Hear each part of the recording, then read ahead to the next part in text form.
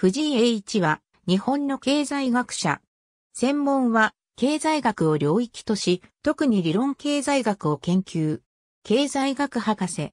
元小樽商科大学学長、小樽商科大学名誉教授、東京国際大学名誉教授。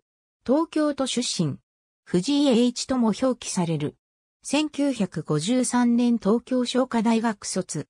1958年度、大学院経済学研究科修了。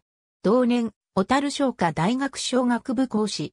1960年シカゴ大学客員研究生。1963年小樽商科大学商学部助教授。その後、ウェールズ大学客員講師。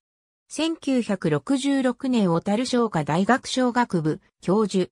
この後、同大学附属図書館長、同学生部長などを歴任。1984年第6代、小樽商科大学学長に就任。